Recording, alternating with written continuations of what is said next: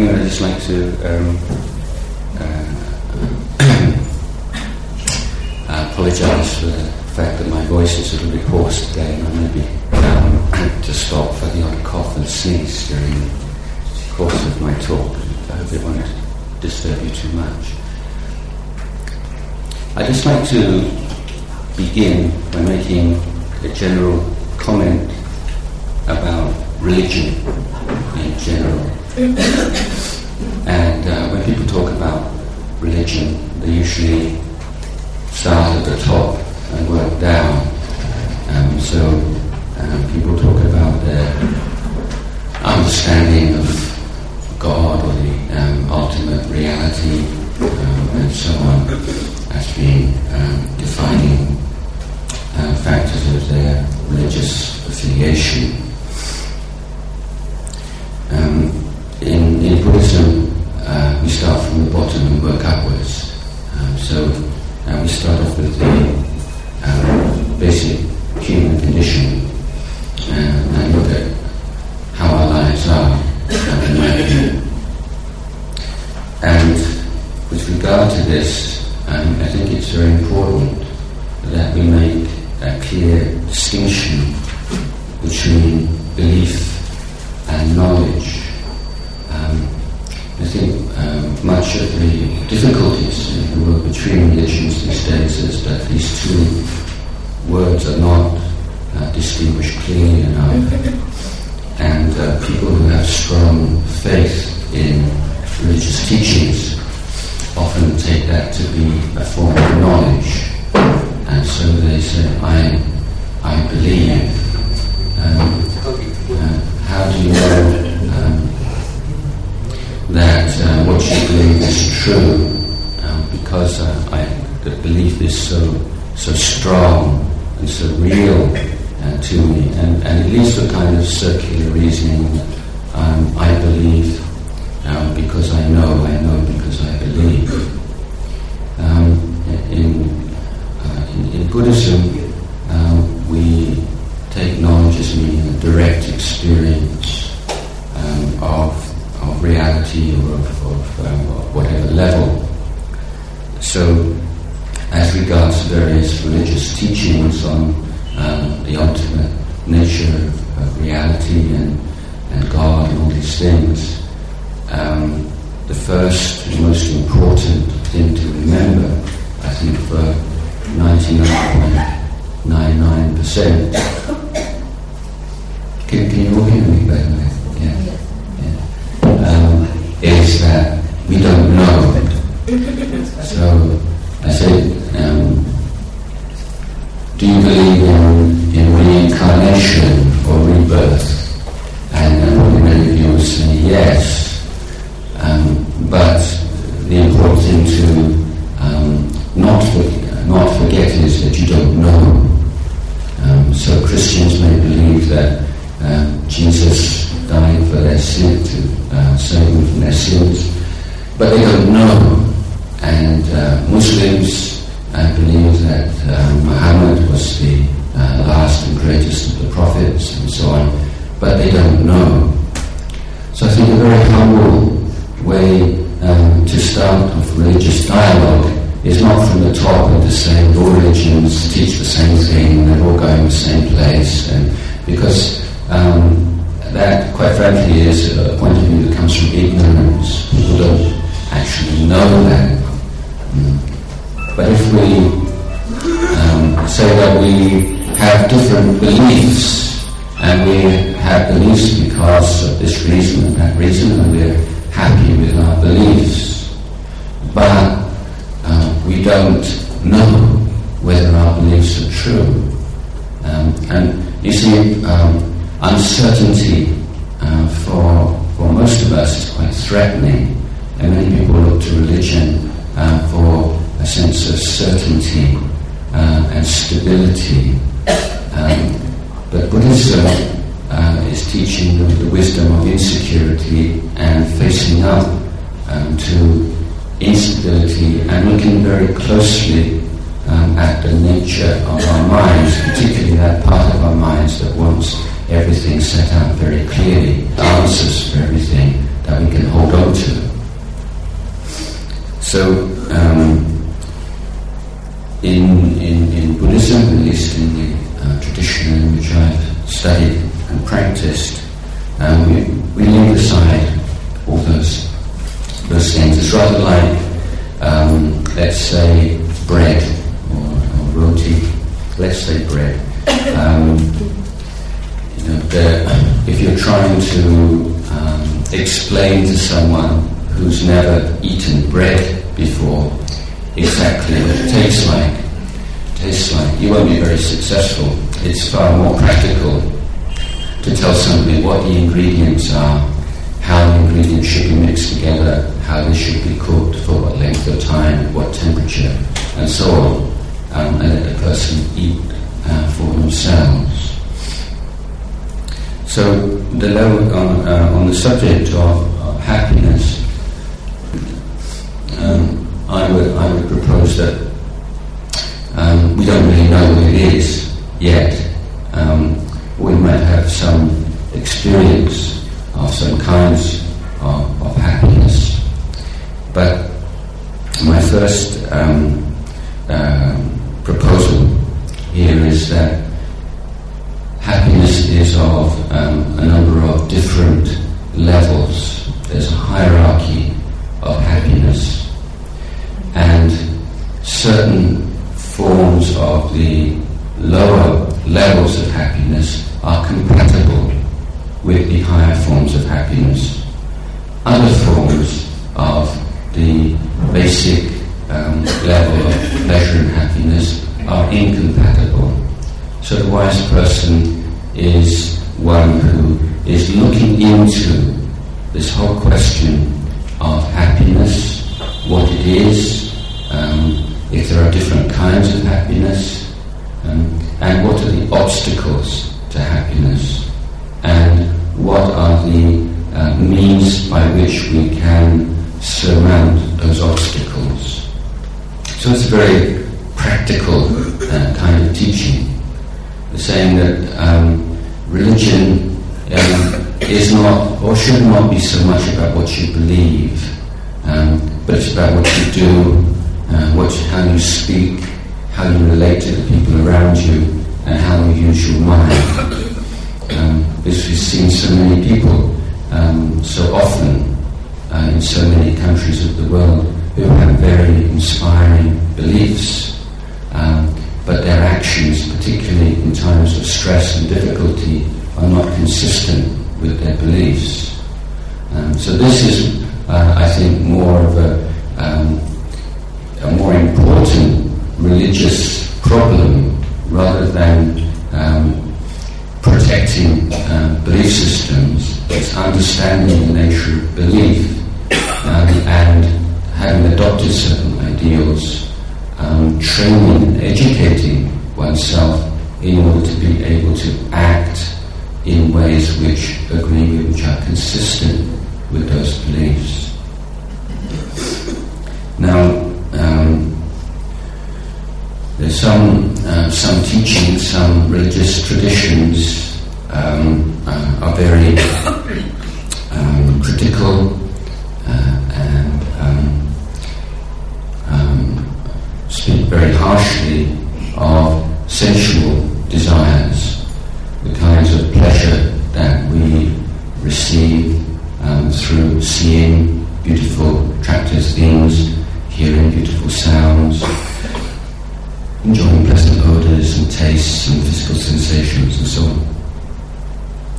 Um, the, the, problem is if we just take a, a very negative attitude uh, towards sensual pleasures rather than using um, our wisdom faculty, um, they often can get very repressed or they hold, uh, they try to force themselves um, to refrain from certain behaviors.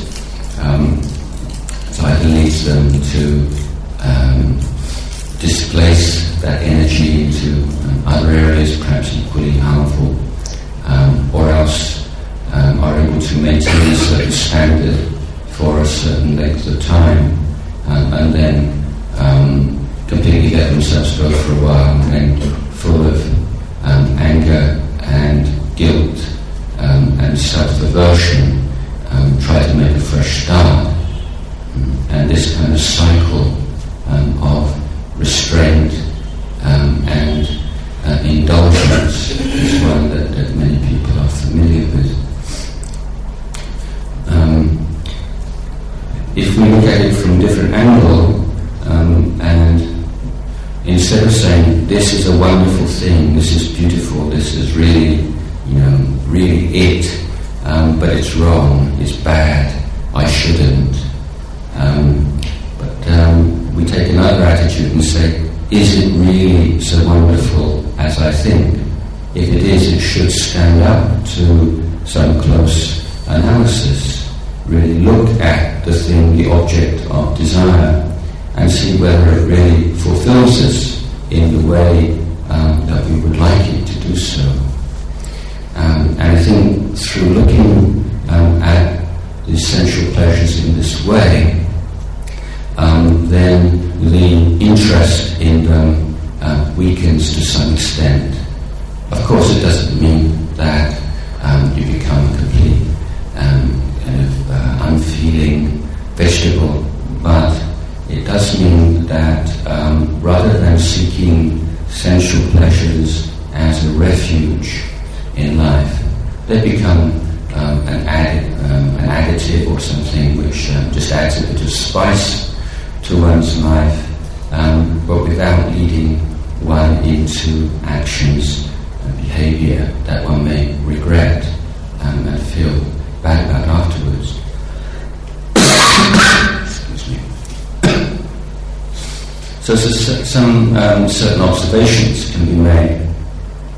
Um, the very nature of our body and our mind means that we can't um, experience unremitting, constant pleasure for any great length of time.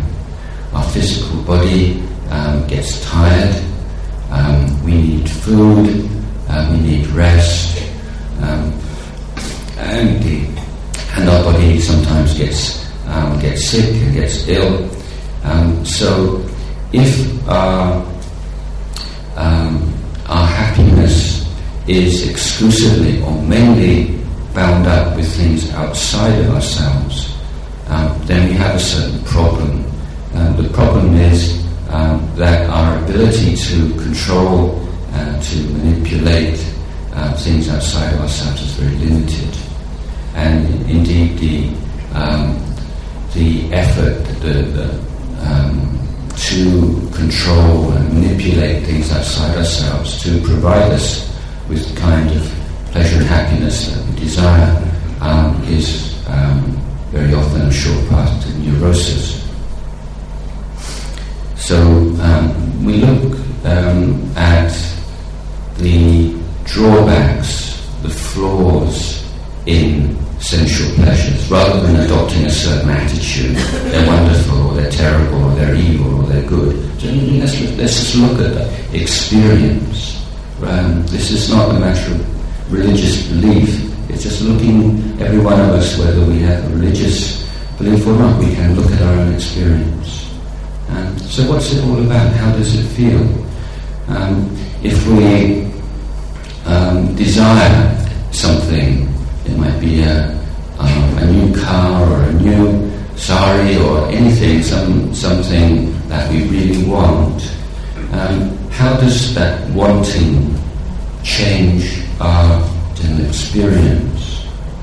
We can make certain um, observations, I think, quite clearly. In the case in which we are pursuing um, an object which is of interest to other people, then our sense of um, uh, love and companionship, sense of identification with others as companions um, in birth, old age, sickness, and death um, is much reduced, and we begin to look on others as competitors. So, um, this change in attitude to um, other people who are pursuing the same kinds of pleasure um, is something that really needs to be looked into. The way our feelings towards people um, change, um, the sense of uh, tension and fear that we're not going to get the thing that we that we want, and um, the um, various um, kinds of mental sufferings that arise in the pursuit of sensual pleasure um, should be included within our whole understanding um, of the role of sensual pleasures in our life. When we finally attain the object of desire, there is a, um, often a sense of joy, um, exaltation even. But again, it's interesting to look at to what extent that um, particular joy that we feel is the release of the tension we've experienced in the pursuit of that object. We gain the object, and then what happens? It's impossible to maintain that high, isn't it? Um, even if we were, let's say, you were an art lover and you were able to purchase the Mona Lisa or the most um, beautiful painting in the world and put it on the wall right there, how long do you think you could sit and gaze at that painting and still enjoy it uh, before you started to get a bit restless, a bit bored?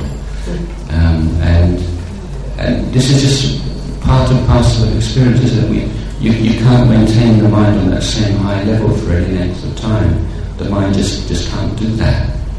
Um, the nervous system can't, um, can't produce adrenaline um, and all those chemicals that, that um, contribute to that high feeling for any length of time.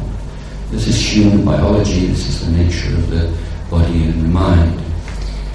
So even if we do it, still after a while we get uh, used to it. Um, another um, often overlooked but central fact of human experience, we get used to things.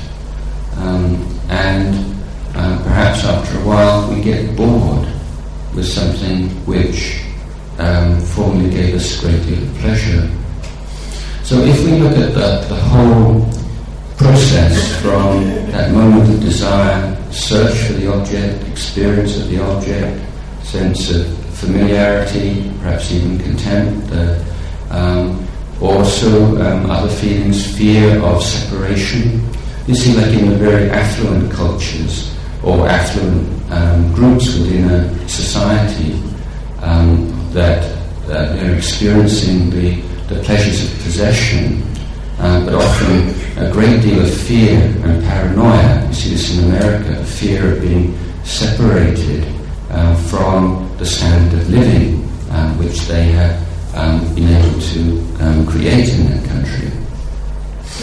So um, then there's fear of separation, and then inevitably there's a separation. So um, in in um, in Thailand, in, uh, in monasteries, we teach all the, um, the local people who come um, to the monastery in the mornings or um, on the um, on equivalent of the Sabbath day um, to chant um, every day in their homes a certain chant, just to say, I am of the nature to age, I have not gone beyond aging. I am of the nature to die, I have not uh, sicken, I have not gone beyond sickness. I am of the nature to die not gone beyond dying, Separated from all that I love and all that I love. Um, so the idea being that rather than turning your back on the, the shadow side of existence um, and those things that um, um make you feel a little bit afraid, um, that um, we face up to them and we remind ourselves every single day that sooner or later we're going to be separated um, from every single person that we love. Um, and this is surely inarguable um, that um, if you don't um, die before um, the people that you love, they will die before you do. And thinking like that's not to make us morbid, of course, but to see the value of each other. Um, if you constantly remind yourself of the inevitability of death and separation um, and the uncertainty of when it will occur, um, then I think you'll be less likely to get into foolish arguments about petty matters um, um, and sulking and, and um, hanging out until you have a sense of being the victor in some kind of argument. And so life's too short. We don't know um, how long we'll be together. When I was a um, teenager, I had um, very long, quite long hair, and it was a real problem at home. I had a lot of arguments with my parents. And uh, I had a great um, urge to come to India. And at the age of 17, I left home and worked for a while and then hitchhiked all the way from England to India. And uh, in 1975, I, I just um, driving across Chowpatty Beach yesterday, 1975. Um, I remember walking along that beach as a young teenager. Um, subsequently, I went to Thailand and became a, a Buddhist monk, and um, was in Thailand for some six years before I returned to visit my family for the first time in England. And uh, of course, by this time, you know, my hair was like this, no hair at all.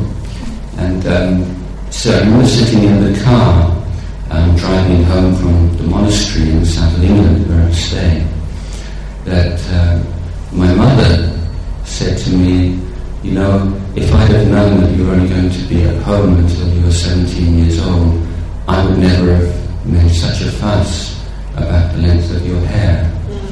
Um, and um, funnily enough, at that very same moment, um, I'd been thinking to myself, you know, if I had known that I was only going to be with my parents until I was 17 years old, I wouldn't have made such a fuss about having long hair.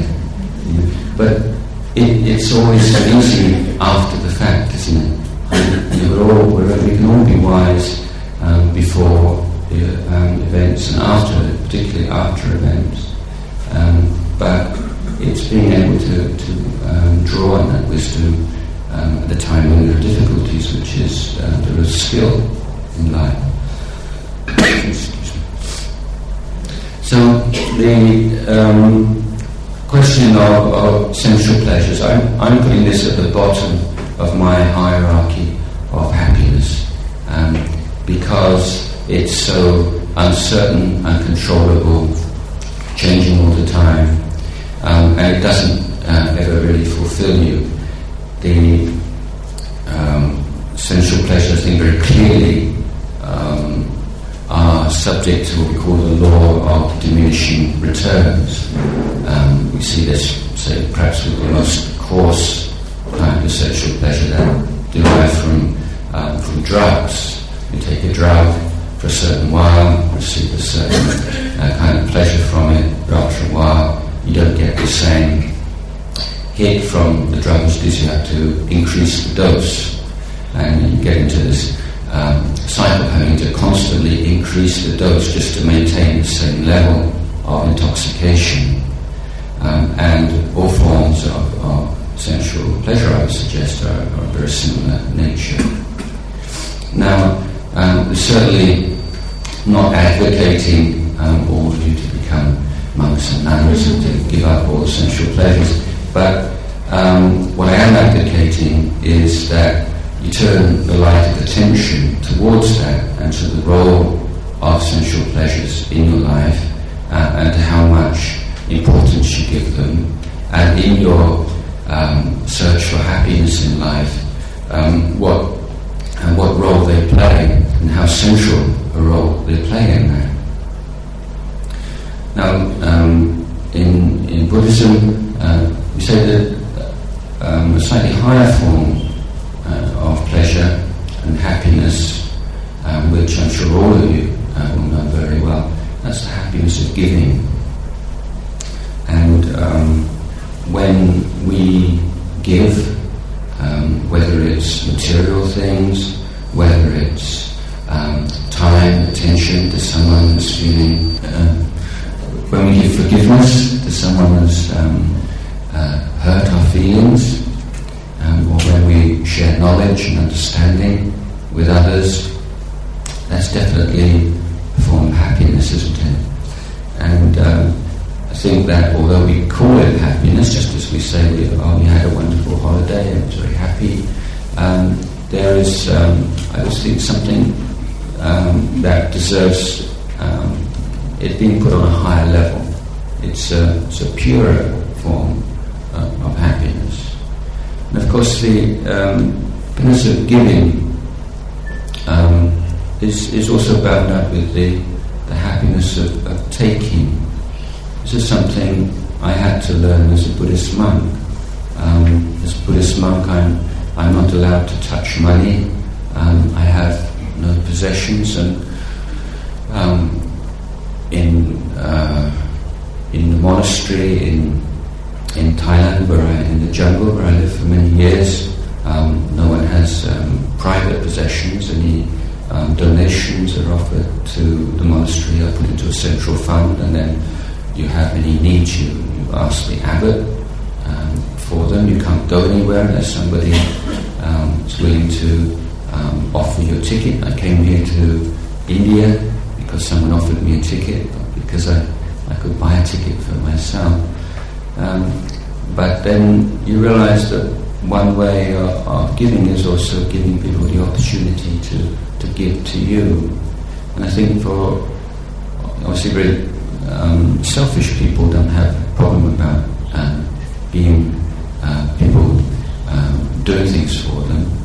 But as you start to um, uh, develop more spiritually, you get great, get great joy in giving, and it can be very hard to receive. Um, but the um, the wise person is one uh, who can give when it is time to give, and can receive when it's time to receive. Um, and uh, sometimes um, not willing to being willing to uh, receive, afraid of being a burden on other people, um, is, is a form of conceit rather than a form of goodness. So giving and sharing, um, I think, is a, a wonderful um, part of life. It makes people very happy. So even uh, very, very poor people um, often experience uh, this form um, of, of giving. Um, before, before I came to Bombay, I, have been walking um, through the countryside um, from Aurangabad and around Ajanta and Ellora um, in the traditional way of the Buddhist monk, just walking by myself and going into villages for uh, alms food in the morning. And uh, just so wonderful to see the response of um, Buddhist people, particularly out in the countryside, people who are so poor, um, most uh, no possessions at all, but you can see they're just beaming and just absolutely overjoyed to have the chance to uh, offer a few chapatis and, and some dal to um, a visiting monk. So this is um, a happiness that we can all cultivate very easily, I think. of course, it's easy to, to give and to share to family members or people that we love, but for it to be a real spiritual practice, we have to expand that more and more um, so that it's not um, in any way um, sort of partisan or um, a group um, kind of thing. Now, the, the, the, joy of, the joy of giving, I think, is um, probably not at all controversial. The, the next um, kind of, of um, happiness, pleasure I'd like to talk about, is probably not so obvious, and that's the pleasure of um, leading a moral life. Now, in, in, in the theistic religions, the real problem with morality in the last hundred years or so. Um, in one, uh, one respect that when morality is considered to be conferred um, or given by God, when we find people who um, don't believe in the dogmas or don't believe in God anymore, then they don't see any reason why they should believe in morality. Uh, if it's uh, the person who, who gives it um, doesn't exist. So this has been a big problem in, um, in the Western world, obviously. Um, in, in Buddhism, um, morality is uh, not considered to um, be a matter of commandments, and there's no um, reward and punishment um, idea. But again, we start off with the uh, basic facts of human existence, starting off with the fact that um, no human being, to think, desires to suffer, even a little bit. Um, and everyone desires to be happy. If you could increase um, the happiness in your life by even a little bit, I'm sure you'd be interested. so, from that um, basic principle of morality is uh, not harming, and that um, takes precedence um, above you know, religious teachings and, and dogmas of harm. Um, there are no exceptions um, to that rule. Now, um, an exercise I've done with children in Thailand is to say, okay, if you um, if you had a magic wand, you say, what what kind of community, what kind of society would you um, like to live in? How would you like people to relate to each other?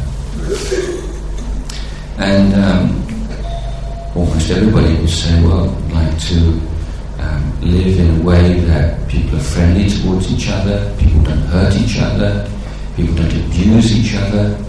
Um, you want to live in a community where you don't have to worry um, that your things are going to be stolen. Um, if you're uh, married, uh, you don't want to have to worry about your husband, your wife running off with someone else, or someone else trying to uh, run off with your husband or your wife.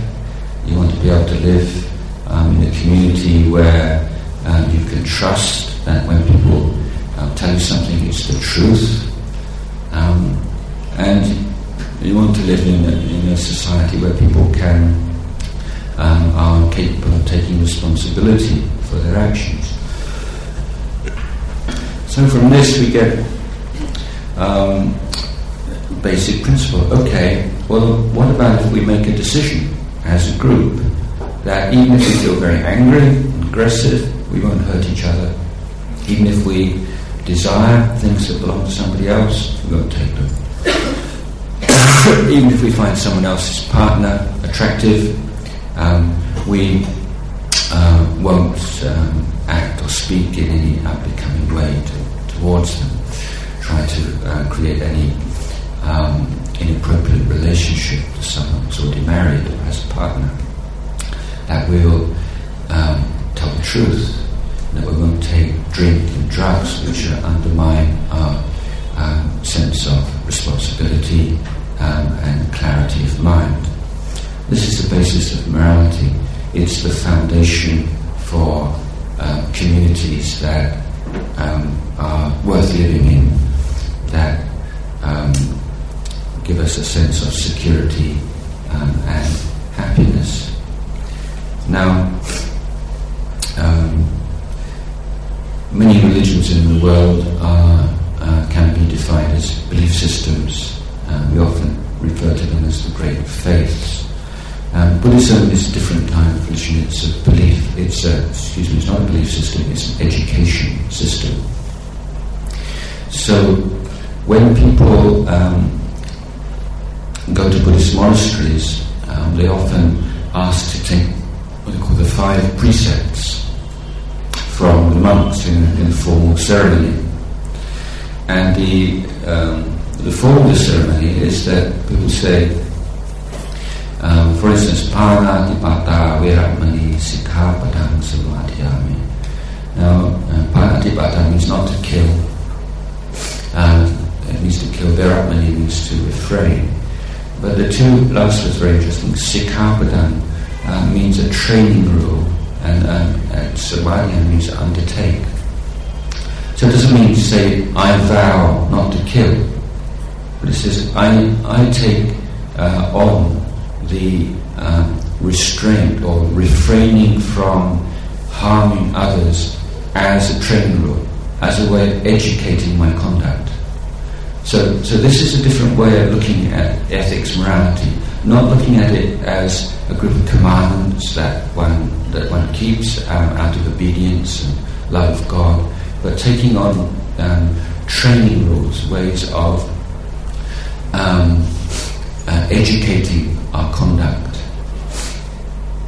Now, in the um, in the practice search for, for happiness, we have to educate ourselves, educate um, our ability to appreciate the higher forms of happiness, uh, ability to experience them, and um, in the uh, in this process uh, what is probably most essential is that sense of self-respect, or, or in the modern Western Indian, self-esteem. So uh, Buddha is saying that um, giving, sharing, um, and um, a moral life are the foundations of self-esteem. So with the uh, morality, it means it must come from you. You must see the, the value of every single one of these training rules. And the idea is of establishing certain boundaries for yourself voluntarily, seeing the value of them, seeing the suffering inherent in not having those boundaries, and then training yourself, educating yourself to be able to live within those boundaries. And the more to which you are able to consistently um, conduct yourself within those boundaries, then the more the sense of self-respect, self-conduct, uh, um, self-esteem will arise. And of course, happiness, the basic kind of happiness, will surely follow. Now, in that um, training, we are making use of a basic human ability it's a wonderful ability and one that, um, again, is, is often uh, overlooked or undervalued. And that is the, the intention not to do. Um, now, if you compare human beings with animals, obviously you couldn't ever um, teach a cat uh, to feel sorry for a mouse and not to chase after a mouse, because a cat is a, is a creature of its instincts we as human beings also have instincts, natural instincts, but we can, um, in certain, uh, certain circumstances, say, no, in that particular area, I'm not going to follow my instincts. And this is something which is um, practical, reasonable, uh, not beyond anybody um, to, uh, to do. I'm sure all of you do it every day. Um, so this ability uh, not to do certain things is something which gives shape and meaning to life. And uh, for those of you who paint or write, or something, you, I'm sure you have um, noticed that often what you don't put into the uh, article or into the painting, or what you leave, and is often as important as what you put in. So um, to give an example of how keeping precepts is a form of education or training, let's take the um, simple case of a mosquito um, biting your wrist. Now, the purely instinctive, automatic, unthinking reaction to pain is go away as quickly as possible. See? Kill the mosquito. But in the case that, that you've taken on this precept very sincerely and you're going to train your conduct using it, say the mosquito bites you, and then at that moment you realize what you're doing and you stop. Now that's a very interesting um, uh, thing to happen. You stop, you don't follow the instinct, and the moment you stop, there's a small moment of awakening. And that small moment of awakening um, is uh, one in which it is, as it were, you drive a wedge in between an intention and its expression. Usually, intention uh, results in expression almost immediately. So, you need a tool to be able um, to pull these two apart intention and expression. And the recollection, or in Buddhist terminology, mindfulness of a precept which you've taken on voluntarily um, is the technique, um, is the mechanism, if you like, which um, stops you and allows you to make a choice. Do I really want to do this? Do I want to kill this mosquito or not? Is it consistent with my ideals and my beliefs or not? You see? So we're going to be on um, beliefs and we're getting to like, the nitty gritty of how you actually deal with your mind in daily life. Um, what tools can you make use of? And so, recollection, mindfulness um, of a precept in, in matters of conduct and speech um, is, is the basic tool. So you stop and say, What do I really want to know? I don't have to kill that, just brush it away. Now, um, although um, in most spiritual matters, um, you notice that an inner education, transformation, evolution will naturally affect your, your conduct. Um, thoughts of loving kindness and compassion will, will naturally express in how you relate to others, how you speak uh, to others. But there is a parallel uh, complementary practice from the outside inwards, which means that if you um, maintain that um, training of conduct let's say in this um, occasion with um, creatures like mosquitoes and ants and um, scorpions and things that you don't like or frighten you. But every time that intention to kill that creature is not acted upon, then the power of that intention um, weakens, and the power of the uh, non-harming intention is strengthened. And so if you consistently, continually refrain from killing the mosquito, you'll notice over a period of time that the intention to kill the mosquito um, uh, disappears or virtually never arises. And with the absence of that intention to harm, feelings of loving kindness start to arise naturally. So compassion, loving kindness, arising through uh, consistently following um, this practice of refraining from certain kinds of uh, conduct.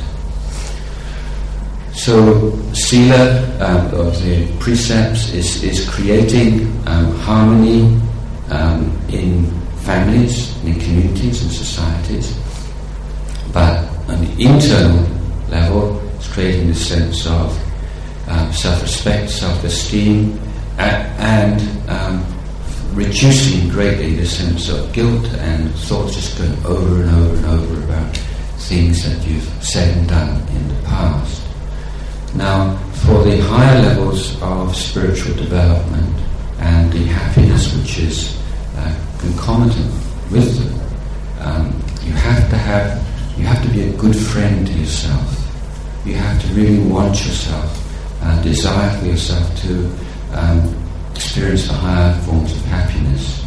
If you think that you're a bad person, you don't really deserve to be happy, then you're never going to really pursue um, those practices which will produce that kind of happiness. Um, so this is the uh, foundation that um, we need to develop. Okay, the intention to refrain from certain kinds of action uh, will um, certainly increase the amount of happiness in your life um, and um, will have a very positive effect on relationship with people around you. Uh, there is, by the way, um, a certain uh, another point that the Buddha pointed out that if you are, let's say, pure in your conduct, in the, in the sense of refraining from killing and stealing, sexual misconduct, lying, drinking drugs, and so on, but because of that, you uh, start to feel that you're somehow superior to someone who doesn't. Then the Buddha says your morality is soiled, it's impure. Um, so, so purity is not just a matter of um, keeping all the rules or the training rules, but it's also your attitude towards yourself and others the same time. So it's, it's quite a subtle thing. Okay, um, there still remains a problem. You can still suffer a lot, even if you're kind and generous and you lead a moral life, um, because um, the um, most important determinant, determinant of your happiness in life is your mind, of course. And so we have to find a way of dealing uh, with our mind and our emotions and finding ways of reducing the power of negative emotions and promoting power positive emotions. Again, this is not uh, doesn't, you know, people say, oh, I'm this kind of person and that kind of person, I'm very confused, I get very jealous, I've got a bad temper, you know, as if these things are sort of given and that um, you're always going to be that way. But these things are just habits um, and things that you've, you've cultivated.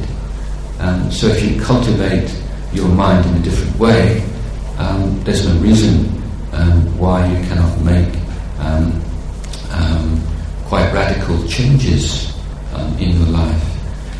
And this is, uh, in fact, a, a, principle which is being more and more accepted in the scientific community, particularly through the advances in um, technology producing MRI um, machines and so on, that the, the old scientific dogma that the brain is a fixed thing and the mind is an epiphenomenon of the brain. Not a real thing. Um, it's just a sort of a product of chemicals and neurons and things sort of in your in your brain.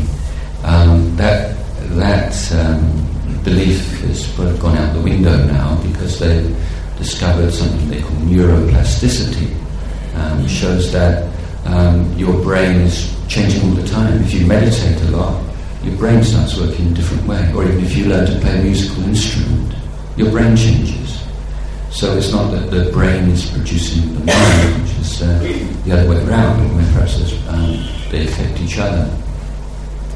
So, um, you know, definitely you can make changes, but um, it has to be done in a systematic way. It's not something that you can call neuroplasticity um, shows that um, your brain is changing all the time. If you meditate a lot, your brain starts working in a different way. Or even if you learn to play a musical instrument, your brain changes. Practical um, to make a uh, decision. Okay, no matter how angry I am, I'm not going to express that physically or verbally. I'm not going to hit somebody. I'm going to swear at them. But you can't make a um, decision um, I'm not going to get angry with them. I'm just going to be forgiving and kind and loving all day. And that, that's beyond the sphere of intention. Um, here we have to um, to the sphere of mental development. Um, and um, again, the um, primary um, engine of, of this development is we call mindfulness. and this is the ability to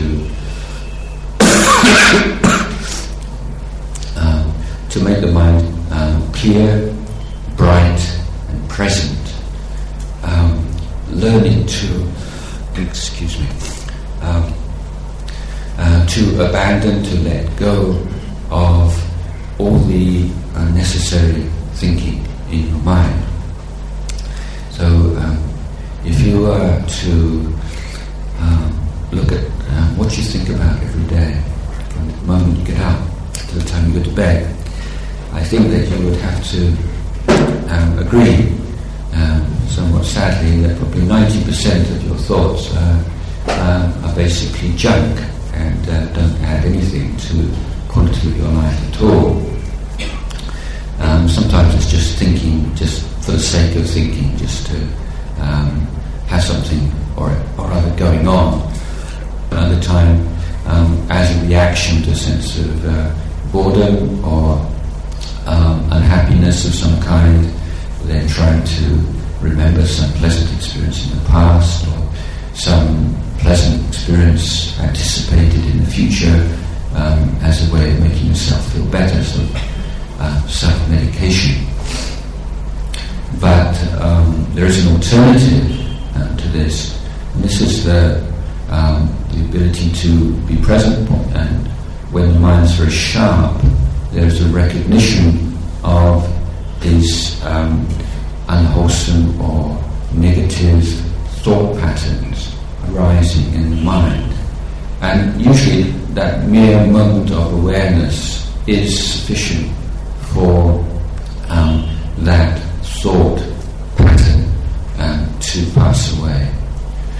And um, bringing the mind back to the present moment again and again and again, then the um, our attitude and relationship to thought and mental activity starts to change um, because you see, it's not quite so compelling um, as it used to be. You don't believe in your thinking so much. You see, it's quite insubstantial. The moment you turn the light of awareness on it, it tends just to pass away. So the ability to do that in your daily life is going to be uh, dependent um, to a certain extent on um, adopting certain medita- meditative ex- um, exercises where you seem to develop this power of mindfulness like a muscle, just like you um, do particular exercises to um, develop your physical body the health of the body. You need to develop these mental muscles, the mental muscle of mindfulness.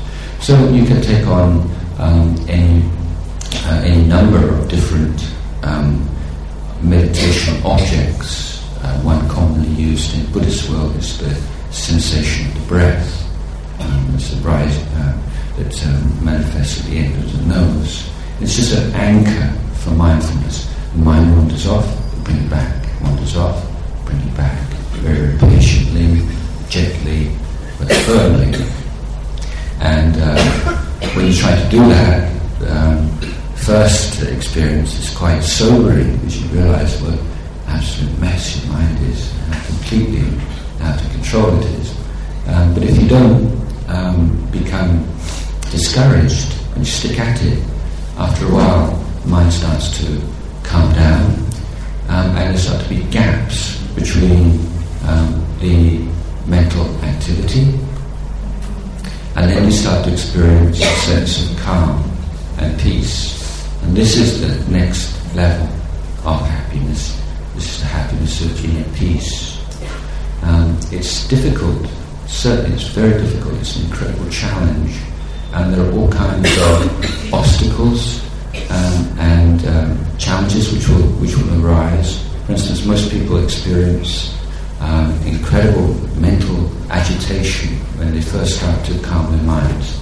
After a while, the mental agitation starts to uh, diminish, and then often people get very sleepy, and often people go between these two poles of agitation and sleepiness for quite some time. Um, but this is something that's going on anyway. If you're ever on a, uh, if you've been on a plane or anywhere on a long journey, you notice that people, you know, have to have something to do. You read a newspaper, read a book, watch a movie, eat something. As soon as there's nothing to do, what do people do? Fall asleep. You know, so mostly we know movement, thought, agitation, and sleep or dullness. Um, so the, the effort here is to develop um, that ability to dwell in the middle space where not thinking necessarily, but not dull or not sleepy. Um, then sometimes there can be strong feelings of anger and aggression, strong feelings of lust and desire, all kinds of doubts and, and worries arising in the mind. And so these, these are the, the um, we call the maras, or the, the, um, the, the, obstacles in, in this form of spiritual development. but these are things that must be overcome. And uh, when the mind lets go of these different hindrances and negative emotions, then the peace that arises brings with it uh, a great um, deal of bliss and a form of, of happiness that is so um, obviously and uh, incontrovertibly superior to anything one's ever experienced that um, one has a new relationship with the other forms of happiness. And uh, I think um, on a social level, um, dealing with social problems and young people, um, drugs and all, all, these things, that um, if people are pursuing very um, harmful ways of um, experiencing pleasure, you can't just take those away from them without being able to provide them with some alternative. And teaching children from a young age um, to be able to deal with their emotions and to be able to let go of negative um, thoughts and thought patterns, and to develop that inner peace and clarity, I think is uh, um, is the best way to uh, to be able to like vaccinate children from the kinds of pressures and temptations that come through in adolescence. Okay, so um, from, from peace, but there's something beyond peace, because peace is still um, a condition. It's still um, something that arises and passes away, and if someone's uh, meditating a lot, then they get very ill, very sick, or some, uh, all kinds of things can happen, and that peace can still um, disappear, and uh, it's not yet a true refuge.